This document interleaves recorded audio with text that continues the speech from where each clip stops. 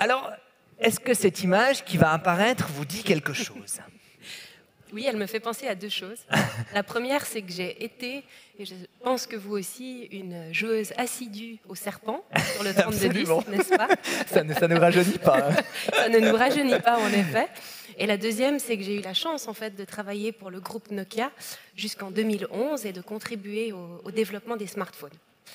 Est-ce que le drame de Fukushima qui vous a fait bifurquer dans les énergies renouvelables, euh, depuis ce moment-là, est-ce que vous, vous sentez cet éco-malaise, cette espèce de- de- d'inquiétude profonde que la nouvelle génération elle a Ça a été une prise de conscience. L'éco-malaise est venu, pour vous l'avouer, depuis que j'ai la chance de porter ma fille. euh, où là, félicitations. merci. Où là, j'ai vraiment réalisé le monde qui se profile pour elle si nous n'agissons pas.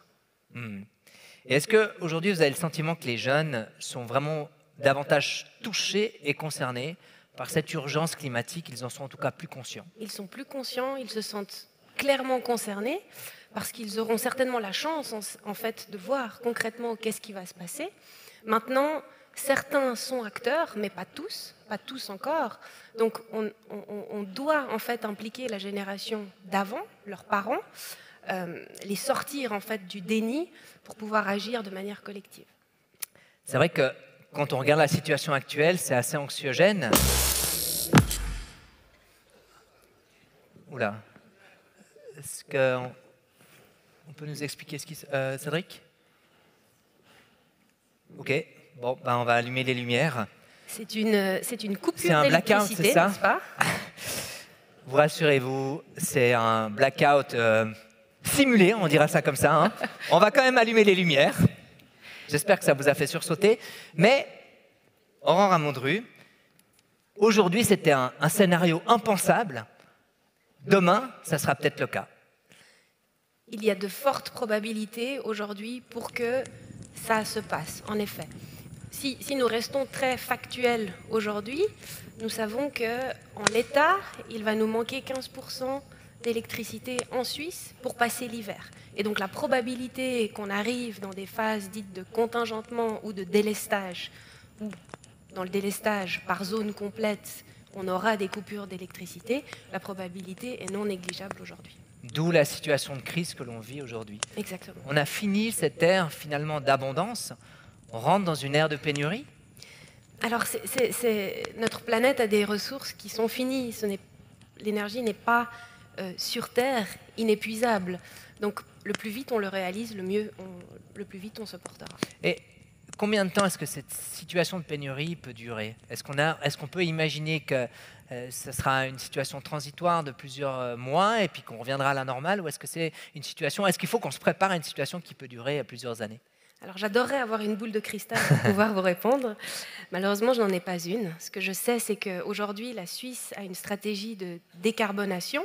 Donc, dans un processus de décarbonation, on va chercher à s'émanciper en fait des énergies fossiles.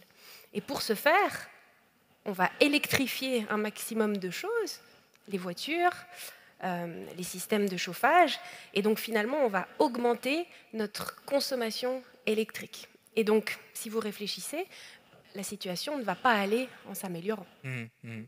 Est-ce que euh, c'est vrai que cette situation-là, des blackouts, euh, nos grands-parents, peut-être nos arrière-grands-parents l'ont vécu avec la guerre. Aujourd'hui, la nouvelle génération, elle ne connaît pas cette situation de pénurie.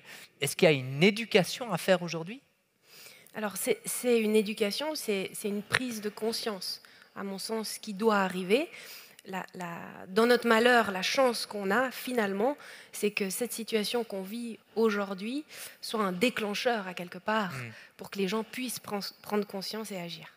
On voit justement, euh, donc là, la, la photo qui, qui s'est affichée, c'est la campagne euh, du Conseil fédéral qui vient d'être lancée justement pour quelque part éduquer euh, notre société à consommer moins d'énergie.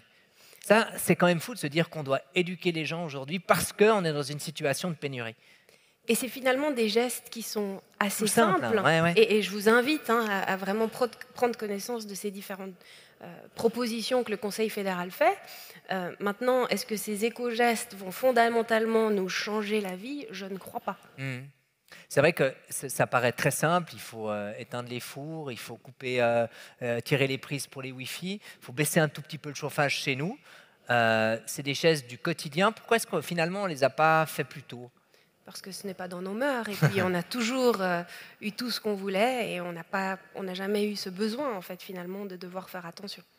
Comment est-ce que les acteurs du milieu se préparent à cette pénurie aujourd'hui? Je, pense qu'il y a vraiment deux axes sur lesquels on peut et on doit travailler. Le premier, c'est l'efficience énergétique et comment finalement on va réussir à trouver des, des, mécanismes qui vont faire qu'on va pouvoir économiser de l'énergie.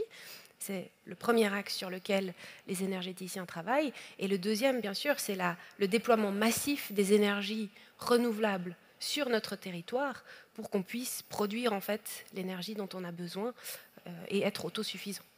Aujourd'hui, on a un, gros problème, c'est qu'on n'a pas de personnel qualifié ni de matériaux pour faire face à, quelque part au développement euh, des énergies renouvelables comme on souhaiterait pouvoir le faire Alors c'est un sujet qui revient régulièrement, hein. c'était encore euh, euh, en grand titre dans le 24 heures en début de, de cette semaine. On sait aujourd'hui que pour mener à bien la transition énergétique de notre pays, il nous manque 400 000 paires de bras pour pouvoir porter ça. Et, on ne commence même pas à parler des matériaux. C'est sidérant de se dire quand même qu'il n'y a pas eu une anticipation, parce qu'on sent qu'on consomme de plus en plus, on sent que le prix de l'énergie monte, on en parlera tout à l'heure, et puis on a l'impression que les principaux acteurs n'ont pas anticipé la situation. Est-ce que c'est le cas déjà? Et puis, comment se fait-il que tout d'un coup on se retrouve aujourd'hui avec une telle pénurie? Alors, je pense que on, vit aussi une situation exceptionnelle et il faut bien comprendre que le politique en Suisse n'a pas toujours été dans ce sens-là. On voit aujourd'hui, et, Dieu merci, ces dernières semaines, euh, le Conseil fédéral a mis différentes choses en place pour nous permettre justement d'accélérer cette transition, nous faciliter le déploiement euh, des énergies renouvelables. Mais je, prends certains projets que nous avons chez Armand d'énergie, poser une éolienne à Sainte-Croix, ça a mis 20 ans. oui, effectivement, ça c'est le propre de la démocratie. Est-ce qu'il faudrait changer? Ben, J'ai lu il y a quelques semaines que le, Lausanne a, accéléré le processus justement de la pose de panneaux solaires. Est-ce qu'il faut une décision politique ferme pour justement accélérer cette transition et qu'aujourd'hui, finalement, cette, cette, volonté politique, elle n'est pas là, pas encore là suffisamment? Elle arrive. Elle, arrive, parce qu'aujourd'hui, on est devant le fait accompli et on n'a pas le choix. Oh, mais il est déjà trop tard. Vous êtes d'accord? On, on, est, on est, J'ose espérer qu'on n'est pas trop tard et qu'on peut, on peut accélérer très rapidement maintenant pour aller de l'avant. Quand on parlait du prix de l'électricité, euh, effectivement, euh, nous, on est dépendant euh, en Suisse de l'électricité produite en France ou, ailleurs. On voit le prix de l'électricité en France est passé de 85 euros à 1000 euros. Exactement cet été. En, cet été, en quelques semaines. Comment est-ce qu'on peut expliquer une telle inflation? Alors, il y a différents facteurs. Aujourd'hui, il, il, y a, la guerre en Ukraine. Euh, qui implique que le gaz se fait rare, le gaz qui en Allemagne est utilisé pour produire de l'électricité. En parallèle, on a en France toute une série d'usines nucléaires qui sont à l'arrêt. Donc euh, on manque aussi d'énergie en France. Et puis finalement, les conditions de cette année, alors c'est génial, il a fait beau, le temps était magnifique, mais on a subi une sécheresse comme jamais. Donc on est, déficitaire aussi par rapport à notre production euh, standard. Et donc tous ces facteurs combinés font que la demande dépasse l'offre, et donc c'est un mécanisme boursier dans lequel les prix explosent. Et ça, cette situation, vous avez l'impression que c'est une situation qui va perdurer. Vous n'avez pas de boule de cristal, mais les indicateurs donnent quoi? Plutôt une situation qui va perdurer ou plutôt une situation transitoire? Alors on, on, vit une situation exceptionnelle. On, malheureusement, comme je vous l'ai dit, l'électrification fait que la demande va augmenter. Et donc, retrouver des prix comme on avait euh, jusqu'à l'an dernier me, paraît difficile. On doit aujourd'hui limiter notre dépendance à l'étranger. Complètement. En Suisse, qu'est-ce qu'on met en place pour limiter cette dépendance? Alors, l'idée, c'est vraiment de pouvoir déployer un maximum d'énergie renouvelable. Il faut bien comprendre que la consommation, l'énergie qu'on produit en Suisse, sur papier lissé annuellement euh, suffit à nos besoins, donc on produit ce qu'on consomme. Malheureusement, on ne produit pas au bon moment. C'est-à-dire mmh. qu'on produit beaucoup en été, donc trop par rapport à ce qu'on consomme, on est obligé d'exporter. Et puis en hiver, on, est tributaire finalement de la France et de l'Allemagne, on doit importer. Donc le solaire, c'est très bien, mais le solaire, on doit continuer à le promouvoir, mais le combiner avec des éoliennes qui vont produire plus l'hiver, et également des barrages, parce qu'un barrage, finalement, c'est quoi? C'est une batterie géante qui va permettre d'accumuler toute cette production solaire estivale pour la restituer en hiver quand on en aura besoin. Évidemment, produire un barrage, ça ne se fait pas en une semaine. Non. Donc euh, c'est maintenant un, je dirais, un plan d'action qui doit s'étaler sur euh, plusieurs, euh, plusieurs années? Mais c'est ce genre de décision politique qui nous aide parce que finalement, tous ces projets, on le voit depuis maintenant trois semaines, sont accélérés. Est-ce qu'on doit aussi augmenter donc, euh, cette énergie renouvelable? On doit poser des panneaux solaires. Qu'est-ce qu'il y a comme autre piste au-delà des panneaux solaires alors, il y a, l'énergie renouvelable qu'on produit et en parallèle, c'est vraiment l'efficience. Donc, essayer de trouver des mesures, isoler nos bâtiments, enfin, in fine, baisser nos consommations là où on peut les baisser finalement. La Suisse, elle a tous les atouts pour pouvoir réussir cette transition énergétique. On a un pays de montagne, on a de l'hydraulique, on a des sous. Exactement. Et, on, et on, a, on, le voit, on a maintenant des projets innovants euh, sur des barrages, on a des projets innovants sur des lacs en altitude. Donc le potentiel est là. On a juste besoin d'accélérer et d'avoir le, le, politique qui nous soutienne dans cette démarche. Et ces projets-là, innovants, euh, vous arrivez à nous en dire un peu plus dans, quel cadre ils se trouvent Où est-ce qu'ils se développent? Alors, les, les, ce genre de projets sont portés par, en général, des énergéticiens qui, qui ont la capacité financière d'investir dans ces projets. La, la Confédération soutient aussi donc, si je prends l'exemple euh, que vous connaissez peut-être de l'installation solaire sur le barrage du lac des Toules, près du Grand Saint-Bernard, donc ça c'est un projet que Romand d'énergie a porté et la Confédération a subventionné aussi ce projet pour faire office de pilote et permettre ensuite euh, à, d'autres acteurs de déployer le, même genre de mécanisme. Et comment est-ce qu'on crée un barrage? Parce que finalement, on ne peut pas dire ah bah tiens, ça serait un endroit adapté pour, euh, pour créer un barrage. Comment ça se passe? Comment est-ce qu'on développe ces projets? Est-ce qu'on analyse les, terrains? Exactement. C'est des, analyses qui se font euh, en, collaboration, bien sûr, avec euh, le département de l'environnement pour trouver des terrains qui sont propices. Est-ce que vous avez le sentiment que d'ici quelques années, la Suisse va pouvoir être autonome en termes d'énergie et plus dépendre de ses voisins? Je l'espère. c'est un souhait? Oui, oui, bien sûr. Mais c'est un, désir profond? Est-ce que c'est une orientation politique? On, est, on, tend vers les émissions zéro euh, de carbone pour 2050. Est-ce qu'il y a un plan de route, une feuille de route très précise pour y arriver aussi? Alors oui, bien sûr. On, a, on, a, on, est vraiment sur cette voie du, du, déploiement massif des énergies renouvelables pour qu'on puisse devenir autonome. L'urgence climatique, comment est-ce que vous la vivez, vous? J'ai envie de vous dire que je la vis assez bien. non, en tout cas, j'essaie de mettre toute mon énergie pour y contribuer. Euh, maintenant, il faut rester positif et il faut surtout, je pense, s'entourer des gens qui ont envie d'avancer. Euh, heureusement, il y en a. vous êtes issu d'une famille euh, de précurseurs dans, en tout cas, la pose de panneaux solaires. Votre papa était un, un pionnier dans l'installation de panneaux solaires. Quand on voit, il y a 20 ans, euh, comment a été équipé et quelle maison été équipée de panneaux solaires et, comment ça se développe aujourd'hui. J'imagine qu'il y a un fossé. Ça, c'est vraiment un chemin qui, qui, est gentiment en train de s'élargir. Alors, je, je, je, remercie mon père, j'en profite pour le remercier parce qu'il est là euh, d'ailleurs ce soir. Donc, c'est c'est quelqu'un qui a toujours été pionnier à l'époque dans, la téléphonie, aujourd'hui dans les, énergies renouvelables. Et je pense qu'on a un chemin qui se dessine dans l'électrification. Et donc tous les métiers qui sont liés aux, énergies électriques, on se doit d'être pionnier euh, pour avancer et trouver des solutions euh, dans, cette stratégie énergétique. J'imagine que ce n'est pas facile d'être pionnier. C'est vrai qu'il y a 20 ou 30 ans, quand on posait quelques panneaux solaires, on se disait, voilà, qu'est-ce que ça va apporter?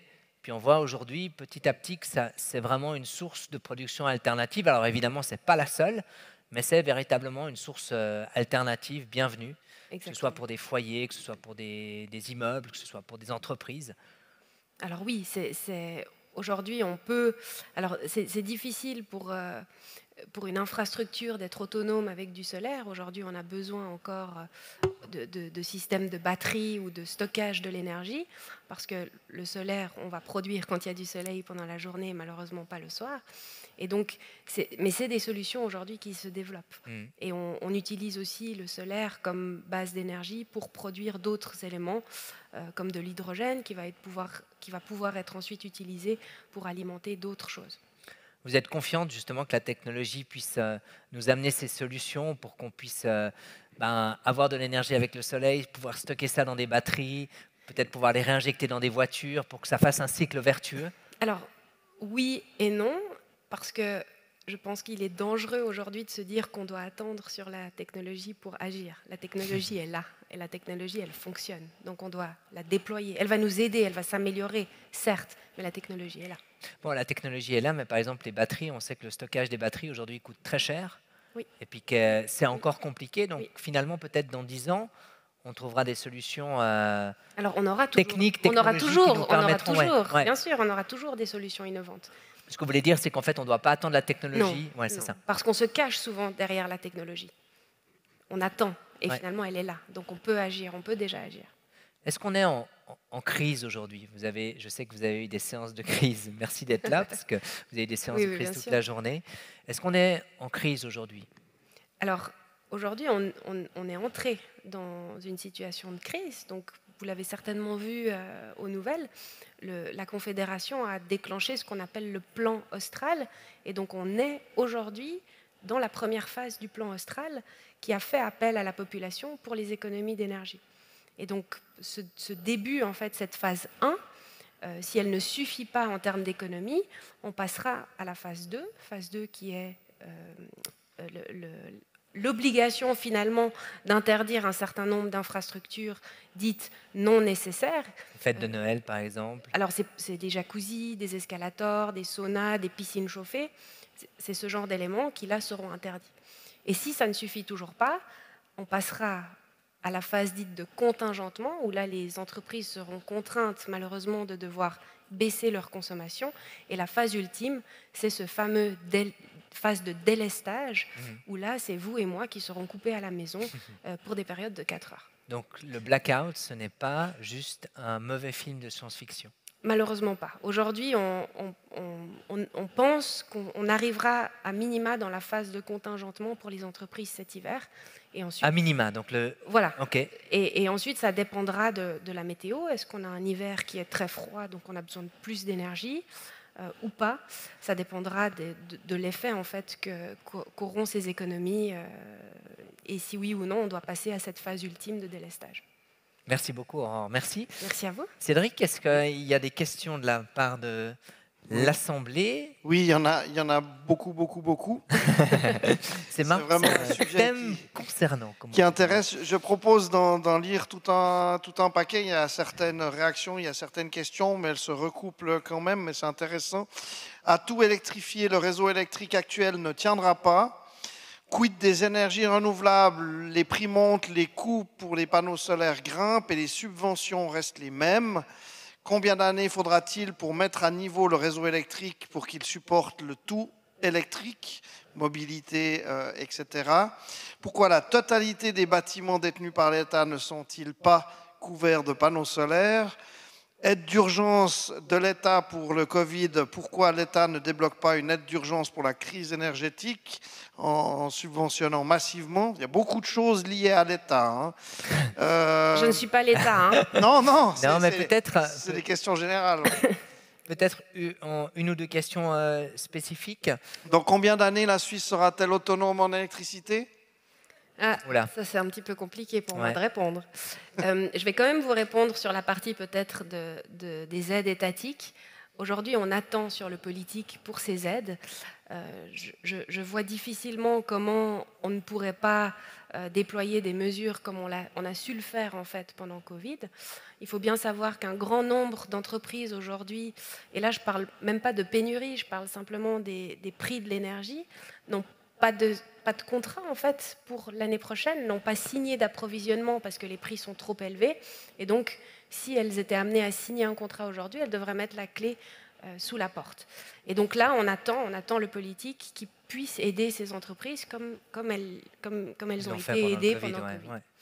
Euh, pourquoi les bâtiments n'ont pas tous des panneaux solaires? C'est une très bonne question. Euh, je vous encourage, si vous avez des connaissances à l'État, à aller la poser et les encourager finalement à le faire. Et puis. il va y avoir une accélération, en tout cas à Lausanne, alors, avec des procédures simplifiées. Exactement. Donc c'est ce qu'il faut faire aujourd'hui, c'est simplifier les procédures et subventionner. Et maintenant, les, les, subventions alors, restent les mêmes. Les, tarifs de rachat de l'énergie ont augmenté aussi euh, en regard des prix de l'énergie qui augmentent. Donc voilà, ça prend du temps, mais je pense qu'on est sur la bonne voie. Mhm.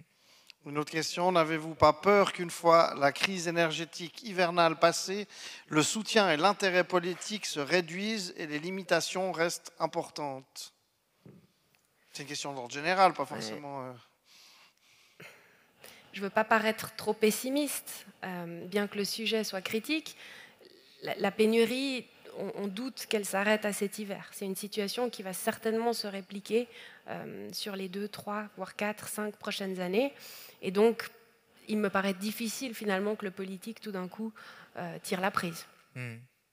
Si la guerre en Ukraine s'arrête, si on retrouve la paix, est-ce que vous avez l'impression que tout d'un coup, de retrouver du gaz russe, ça va soulager?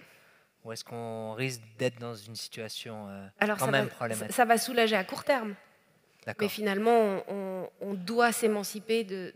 Nous, on, achète finalement de l'énergie euh, qui est produite à base de gaz en Allemagne.